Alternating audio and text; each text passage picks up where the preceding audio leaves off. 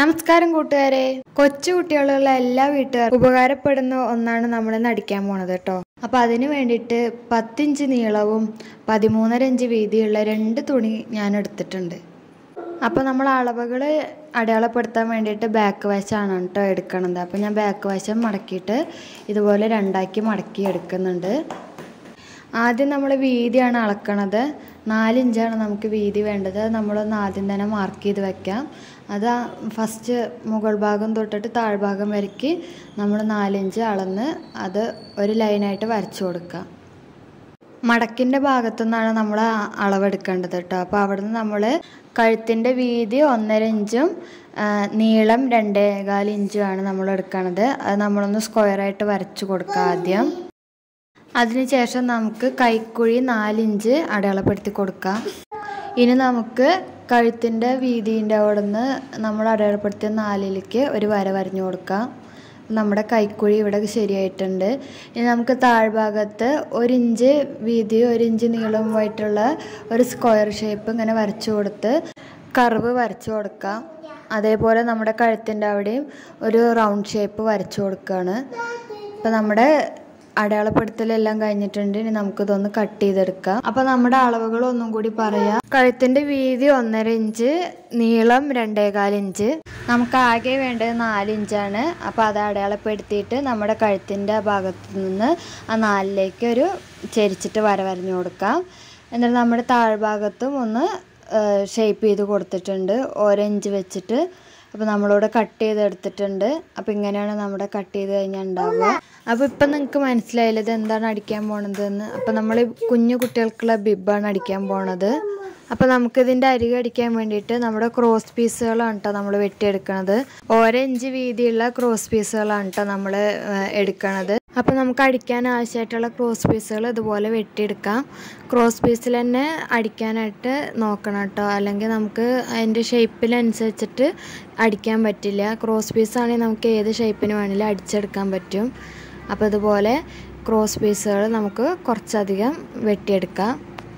അപ്പോൾ നമുക്ക് വേണ്ട ക്രോസ് പീസുകൾ വെട്ടിയിട്ടുണ്ടെങ്കിൽ നമുക്കിത് എങ്ങനെയാണ് അടിക്കുക എന്നുള്ളത് നോക്കാം. ആദ്യം നമുക്ക് ഇങ്ങനെ വെട്ടി വെച്ചിട്ടുള്ള ക്രോസ് പീസുകൾ ആദ്യം ഒന്ന് ജോയിൻ ചെയ്ത് കൊടുക്കാം. അതാ ഇതുപോലെ ചെരിച്ചാണ് വെക്കണത്. ചെരിച്ച് വെച്ചിട്ട് നമുക്ക് അടിച്ചെടുക്കാം. അങ്ങനെ എല്ലാം നമ്മൾ ഒരേപോലെ അടിച്ചെടുക്കാനായിട്ട് ശ്രദ്ധിക്കണം.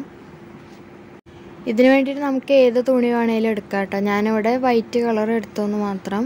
ബ്ലാക്ക് വേണമെങ്കിൽ ബ്ലാക്ക് എടുക്കാം. നമ്മൾ ഏത് തുണിയാണോ എടുക്കണത് അതിനനുസരിച്ചിട്ട് ക്രോസ് പീസ് എടുക്കാനായിട്ട് ശ്രദ്ധിക്കണം. അപ്പോൾ ഒരേ കളർ കൊടുത്തു കഴിഞ്ഞിട്ടുണ്ടെങ്കിൽ അത് നമുക്ക് കാണാനായിട്ട് പറ്റില്ല. അപ്പോൾ അത് കാരണം കൊണ്ട് ഞാൻ രണ്ട് കളറായിട്ട് എടുത്തു എന്നേ ഉള്ളൂ.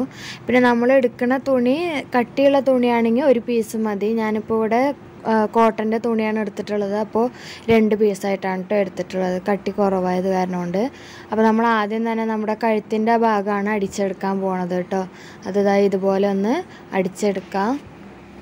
നമ്മൾ ക്രോസ് പീസ് എടുത്ത കാരണം കൊണ്ട് തന്നെ നമുക്ക് ഈ വളവൊക്കെ നന്നായിട്ട് അടിച്ചെടുക്കാൻ പറ്റും. ഇതിപ്പോൾ മറ്റ് സാധാ തുണി മാതിരി വെട്ടിയെടുക്കുകയാണെന്നുണ്ടെങ്കിൽ നമുക്ക് ഇങ്ങനെ ഇതുപോലെ കിട്ടില്ല. ക്രോസ് പീസ് ആയതുകൊണ്ട് നമുക്ക് എങ്ങനെ വേണേലും അടിച്ചെടുക്കാൻ പറ്റും. അപ്പോൾ ക്രോസ് പീസ് തന്നെ എടുക്കാനായിട്ട് ശ്രദ്ധിക്കണം. അപ്പോൾ ഞാനിവിടെ കാലിഞ്ച് വീതിയിലാണ് കഴുത്തിന്റെ അത് അടിച്ചെടുത്തിട്ടുള്ളത്. നമ്മളെല്ലാം കാലിഞ്ച് വീതിയിൽ തന്നെ അടിച്ചെടുക്കാനായിട്ട് നോക്കണം. എന്നിട്ട് ഇതുപോലെ ചെറുതായിട്ടൊന്ന് വെട്ടിക്കൊടുക്കണം. അപ്പോൾ നമുക്ക് തിരിച്ച് മടക്കുമ്പോൾ പെട്ടെന്ന് നല്ല ചുളിവില്ലാതെ കിട്ടാൻ വേണ്ടിയിട്ടാണ് ഇങ്ങനെ വെട്ടി വെട്ടി കൊടുക്കണത്. നമ്മുടെ തയ്യലിൽ വെട്ടാതെ വേണം അത് പതുക്കെ വെട്ടിയെടുക്കാൻ. തയ്ച്ചതിൽ വെട്ടിക്കഴിഞ്ഞിട്ടുണ്ടെങ്കിൽ നമുക്ക് പിന്നെ അത് അടിക്കാൻ പറ്റില്ല. ഇനി നമുക്ക് മറുഭാഗത്തേക്ക് ഇതാ ഇതുപോലെ മടക്കി കൊടുക്കാം. ആദ്യം ഒന്ന് ചെറുതായി മടക്കിയിട്ട് പിന്നെ നന്നായിട്ട് മടക്കിയിട്ട് അവിടെ ഭാഗം ഒന്ന് അടിച്ചു കൊടുക്കാം. നമ്മുടെ ക്ലോത്തിന്റെ മറുവശവും നല്ല വശവും ഒരേപോലെ ആയിരിക്കണമെന്ന് ശ്രദ്ധിക്കണം. രണ്ട് ഭാഗവും നല്ല വശമായിട്ട് വരുന്ന പോലെ അടിച്ചെടുക്കാനായിട്ട് ശ്രദ്ധിക്കണം. ഇതുപോലെ തന്നെ നമുക്ക് എല്ലാ വശവും ഒന്ന് പൈപ്പിംഗ് ചെയ്ത് കൊടുക്കാം. ഇനി നമ്മൾ അടിക്കുമ്പോൾ നമ്മൾ കുറച്ച് തുണി കൂടുതലായിട്ട് മുകളിലേക്ക് വെക്കണം. കാരണം നമുക്ക് കെട്ടിന് വേണ്ടിയിട്ടുള്ള തുണിയാണത്. അതിങ്ങനെ വിട്ട് വെച്ചതിന് ശേഷം ബാക്കിയുള്ള അവിടുന്ന് നമ്മുടെ കഴുത്തിന്റെ അവിടുന്ന് തൊട്ടിട്ട് നമ്മൾ അടിച്ചു കൊടുക്കാം. ആദ്യം കൈക്കുഴിയാണ് അടിക്കണത്. കൈക്കുഴീന്റെ നമ്മൾ നാലിഞ്ച് എടുത്തതിന്റെ അവിടെ ഒന്ന് സ്റ്റോപ്പ് ചെയ്തിട്ട് പിന്നെ നേരെ വെച്ചിട്ട് വേണം ബാക്കി അടിച്ചു കൊടുക്കാൻ.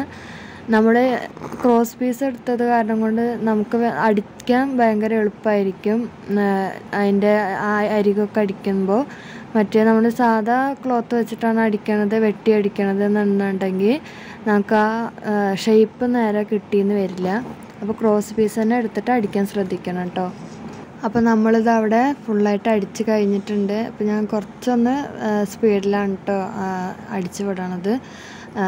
വീഡിയോ അല്ലെങ്കിൽ ലെങ്ത് ആയി പോകും അത് കാരണം കൊണ്ട്. അപ്പോൾ നമ്മൾ രണ്ട് സൈഡിൽ ഇതേപോലെ നമ്മൾ കുറച്ച് തുണി അധികം അങ്ങനെ വിട്ടിട്ടുണ്ട് നമ്മുടെ കെട്ടിന് വേണ്ടിയിട്ടുള്ളത്. അപ്പം നമ്മൾ ആദ്യം ചെയ്തതുപോലെ തന്നെ ഒന്ന് കട്ട് ചെയ്ത് കൊടുക്കാം. എല്ലാവിടെയും ഒന്ന് നന്നായിട്ടൊന്ന് കട്ട് ചെയ്ത് കൊടുക്കുക. അതിന് ശേഷം നമുക്കിതൊന്ന് മറിച്ചടിക്കാം. ഇനി നമ്മൾ മറിച്ചടിക്കുമ്പോൾ നമ്മുടെ മുകളിൽ നിന്ന് വേണം നമ്മൾ അടിക്കാൻ വേണ്ടിയിട്ട്. അപ്പോൾ അതിന് ആദ്യം ഒന്ന് ചെറുതായിട്ടൊന്ന് മടക്കി കൊടുക്കുക മുകൾ ഭാഗം. അതിന് ശേഷം നമ്മൾ രണ്ട് വശത്തു നിന്നും ചെറുതായിട്ടൊന്ന് മടക്കിയിട്ട് എല്ലാം കൂടിയിട്ട് നടുക്കുക ഒന്ന് മടക്കി കൊടുക്കുക.